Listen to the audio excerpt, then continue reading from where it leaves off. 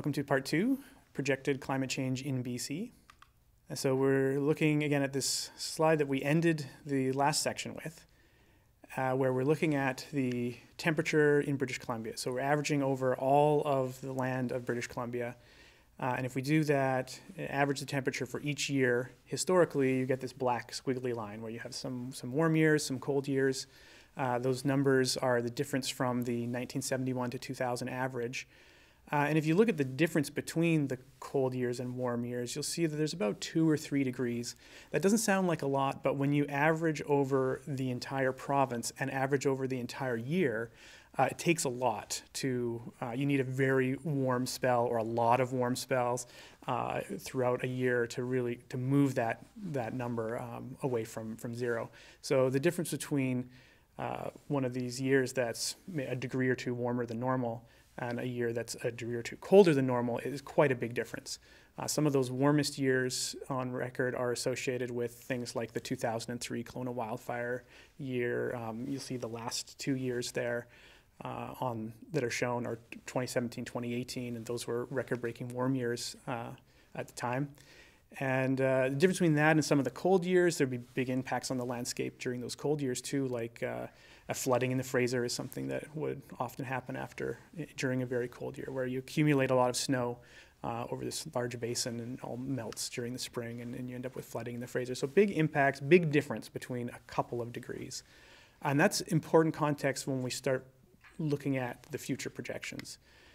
Uh, so if you look at that, those squiggly lines and think about it as a distribution, so a sort of normal distribution, I'm going to put this, this image down there. So you see you have some of the years that are the, the hot years, some years that are, that are colder than normal, and then most years are kind of in the middle. If we follow these three future projections, uh, these are from a set of climate models uh, that are run under different emissions, uh, different greenhouse gas emission scenarios into the future. And we'll get into the differences among those in a moment. But let's just focus on the, the top one. So this is kind of business as usual. We don't reduce our greenhouse gas emissions by very much. Uh, and globally, this is about three and a half degrees of warming. So, so this is, uh, you don't hear even a lot about, about this scenario. Um, but this is, this is kind of business as usual if we do follow this scenario right through to the end of the century and we kind of slide that, that bell curve up there, uh, and just following the, the, the, dark red line there being the, the average of um, the average of interannual variability and the average of multiple climate model runs. That, uh, that bell curve doesn't overlap at all with the historical bell curve. So if you can imagine sort of sliding um, uh, a line in between the bottom of this end of the century curve and, and the historical curve. There's just no overlap.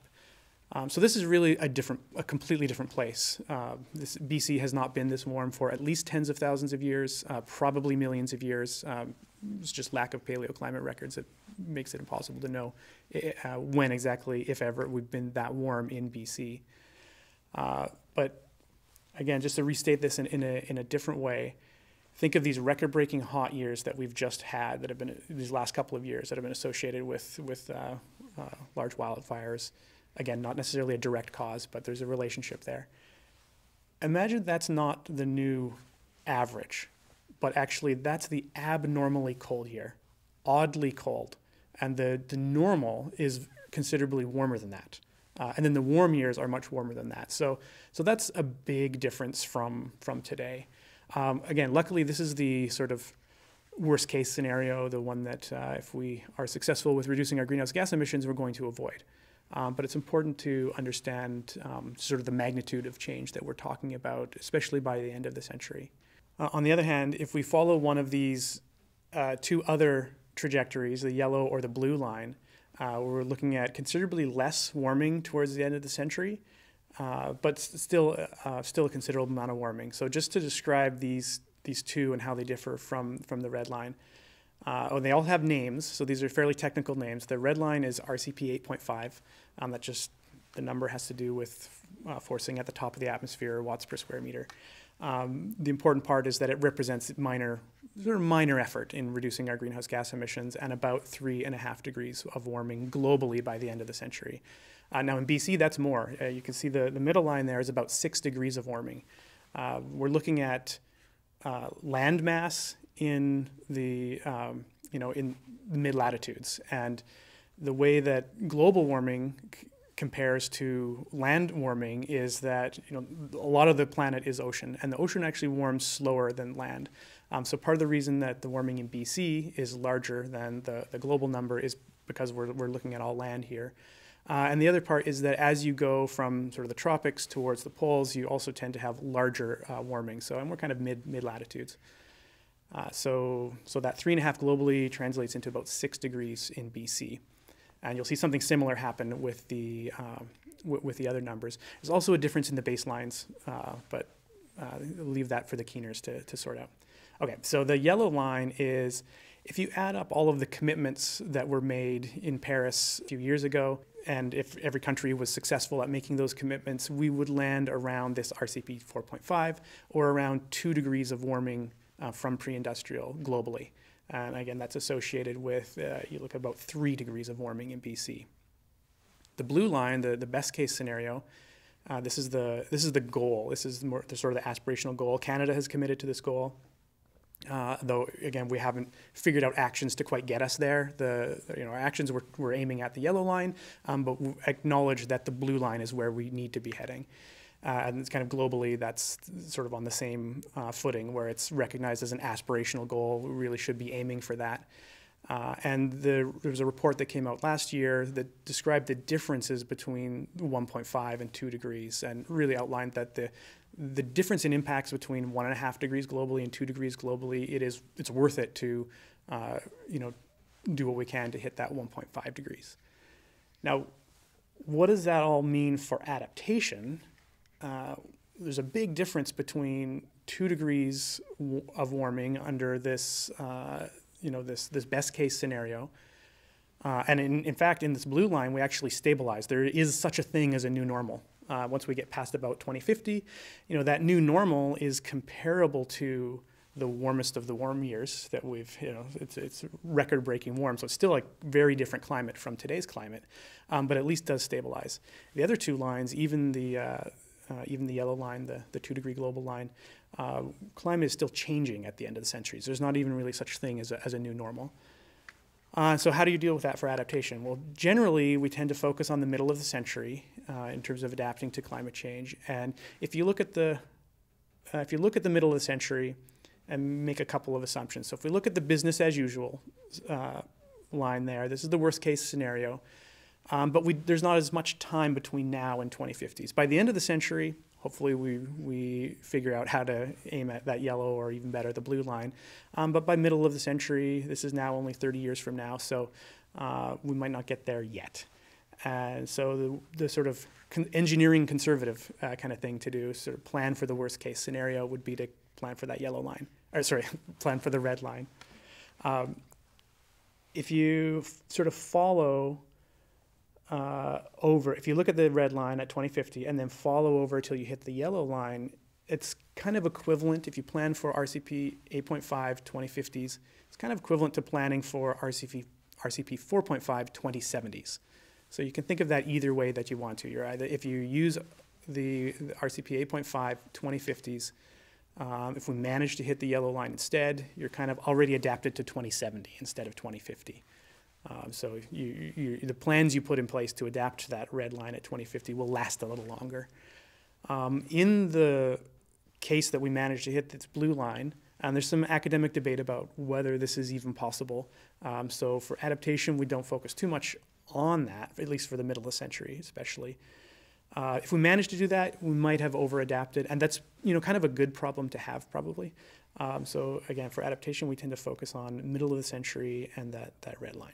What does this mean compared to current practice? And this is an, this is an example from the BC Building Code, but uh, any sector, agriculture uh, or, or any sector, will have some version of this that so if you look in the building code, what's currently used for current conditions uh, is 1986 to 2005. And so if you look at that, that horizontal black line, that's the period that's currently used as sort of current conditions in the, in the building code. But we're building buildings that are meant to last for 50, 70, 100 years. Uh, and if you look over sort of horizontally from that, that solid black line over to the 2050s, you can see that those conditions are not, um, you know, those don't really indicate what what is any in any of the range of likely outcomes. Even the uh, even on the coldest side of the blue uh, band, uh, the historical conditions are, are colder than that. So they don't really well represent uh, what we can expect in, in BC in, in the middle of the century. So even though there's some uncertainty, you have to make some assumptions around which scenario are we following. Whatever you do in, in terms of those assumptions is going to be better than relying only on historical information because we know that that doesn't take into account any of the range of possibilities. All right. So what does this mean in BC? Uh, it tends to fall into a few kind of categories of impacts. Uh, Vancouver has produced these uh, nice info infographics based on uh, projections where, you know, now we're moving from BC down to locally specific uh, projections. And uh, uh, so for summer, hotter and drier summer, and th this is based on Vancouver specific projections. and so they have one infographic for each season. So for autumn, it's, it's wetter, 21% more rain on, um, on wet days. Uh, for winter, what really matters for Vancouver, uh, although the water supply isn't in the city of Vancouver, um, the city depends on the uh, snowpack uh, in the watershed for water supply, and so a 58% decrease in snowpack by um, the middle of the century is is a big concern for for the water supply. Uh, and there's an icon for skiing there too. Will uh, threaten threaten some winter activities uh, and then warmer springs. So here, uh, this is talking about um, you know decrease in frost days. So this is potentially good news for uh, for home gardeners certainly, and and for some agriculture that uh, uh, you know a decrease in frost days. This could mean some new crops. Um, again, there's a trade-off though with the sort of hotter, drier summers. So can we find crops that uh, can take advantage of the decrease in frost days that we'll expect, won't, won't have problems with hotter, drier summers or, or wetter, wetter autumns. Right, so again, taking future climate into account is uh, necessary and possible. Uh, these are the two main messages from this uh, series. And uh, just to review again, those what we've looked at for Vancouver. If you look at that anywhere in the province, we tend to have impacts falling into these same categories. So this is actually for uh, Capital Regional District. Uh, again, they looked at projections uh, we provided projections for the regional district, and these came out as sort of the four most important things. Uh, warmer winter temperatures, fewer days below freezing, uh, more extreme hot days in summer, longer dry spells in summer months, uh, more precipitation throughout the wet season, so in every season but summer, uh, and then an increased frequency and intensity of precipitation and storm events. So uh, you'll find slightly different things in different parts of the province, but these are these tend to be the, the, the sort of main impacts anywhere. So we're going to go now into a little more detail uh, on each of some of these kinds of impacts. Okay, so first we'll look at more frequent and more intense wet days. And the way we'll do this, I'm going to look show some examples of uh, some actual recent events uh, along these lines. So in Bella Coola, September 2010, uh, we had this one in 200 year event, uh, wiped out the airport. Uh, it was a big uh, problem for Bella Coola for several days. Transportation in and out of, of Bella Coola were uh, severely messed up, as you can see. And now what I'm going to do is look at um, future projections for. Now we don't we don't have the one in 200 year event available to us for uh, sort of various uh, technical reasons, but we can get close. So here's the closest thing to that. Um, this is just the precipitation on um, wet days. So if you look at the amount of precipitation that falls in the sort of 5% of wettest days in the past, uh, and then look at how much precipitation falls on days with that same threshold in future. Uh, now here we're looking at uh, we're looking at Vancouver, and the increase in that is about 25% by the, the middle of the century. So quite a considerable increase in in wet days. Now it's not the one in 200 year event, um, but it gives us an, an, indication of a fairly considerable increase in extreme precipitation. Similarly for decreased snowpack, uh, so this example is from Metro Vancouver uh, summer of 2015, where there were water restrictions because of, decreased snowpack. And as uh, sort of mentioned this earlier in the Vancouver infographic, uh, but here's a spatial image of it, the, the decreased snowpack by the middle of the century. So it's uh, about a 60% uh, reduction in the those three areas there, the watershed boundaries. Now, looking at how, what this means for stream flow, uh, so here's a bunch of things. Uh, here's the image of a higher winter stream flow um, resulting from uh, precipitation falling as rain when it normally would have been falling as snow. Uh, we're also looking at lower and earlier peaks uh, and lower summer stream flow. So these three examples come from, from different events, um, but they're indicative, uh, and different places, in fact, but they're indicative of the kinds of things we expect under future, uh, future climate change. So here's, here's what we have for future stream flow. Um, and this is for the Peace River at Taylor, so up in the northeastern part of the province. And the black, so what we're looking at here, the black line is the, the annual stream flow, so the amount of, the amount of water in the river um, throughout the calendar year. And so it's low, just looking at the black line first, it's low uh, in the beginning of the year because uh, any precipitation that falls tends to fall as snowpack. It's cold, uh, and then as you get into you know into May, June, uh, that that snowpack that accumulated during the winter starts to melt. So you have large stream flow, and you have the you know the peak happening there in June historically. Um, continue to have snow melt throughout the summer, and any rain that falls uh, now goes kind of right into the stream. So you still have continued fairly high stream flow throughout the summer. And then as you get into um, the fall and, uh, and winter, again, you start having a larger fraction of precipitation falling as snow, so it starts to accumulate rather than go straight into the stream. Now, if you then look at the future projections, so first the blue line is 2020s, black line, or sorry, the green line is 2050s, and the pink line is 2080s. You see this progression and sort of three, the three things that I showed on the images before. Uh, so higher winter stream flow, just caused by precipitation that used to fall as snow, now falling as rain as temperatures get warmer and warmer. Uh, and then you get this lower and earlier peak. So uh, you have, if you look at the 2080s, the peak that now occurs in May is higher stream flow for that time of year. So high, the, the peak there in the, in the pink line is higher than the black line for May. So it's, it's actually higher for May, um, but the peak itself is considerably lower than the June peak used to be. So that streamflow peak's happening earlier, and so it's, it's high for that time of year and, and earlier, um, but lower peak total. And then considerably lower streamflow in the summer uh, as there's just less snowpack to melt.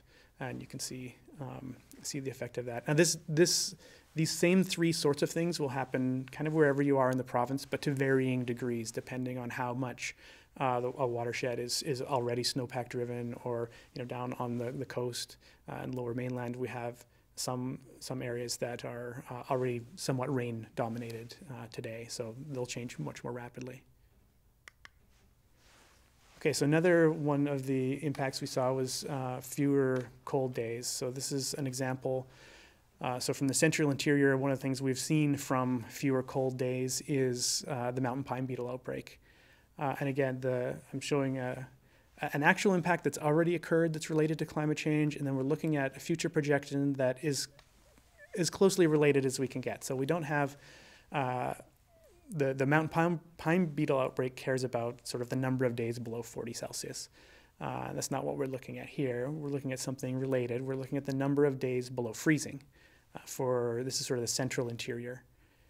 And uh, you can see it's hard, you kind of have to look back and forth very closely at the colors between these, these two maps um, to, to really see this come out. But on average, in these two regional districts here, the, we're going from historically to about 220 days per year below freezing, so you know, about two thirds of the year, to almost two months fewer uh, days below freezing. So that's a pretty considerable change. And in terms of agriculture, there's going to be a big difference in, in terms of what, uh, what crops uh, are going to be suitable in future.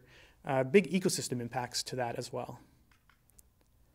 And so on the flip side, hot days. Uh, so we saw this, this was just uh, in the last couple of years, we've had a lot of, of extreme heat war warnings in the lower mainland.